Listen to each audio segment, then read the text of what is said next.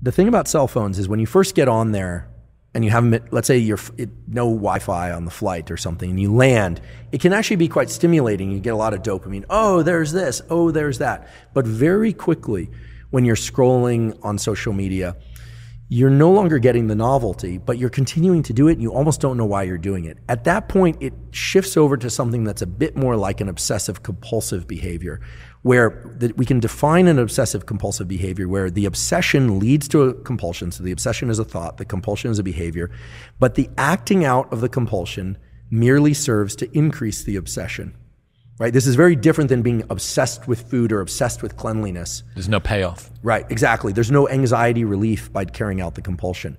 With OCD behaviors, like scrolling social media, the dopamine quickly wanes, and then you find that you're just sort of, and we've all been there, you're scrolling, you're like, why am I doing this? This isn't that interesting. That is, this isn't that interesting. Now,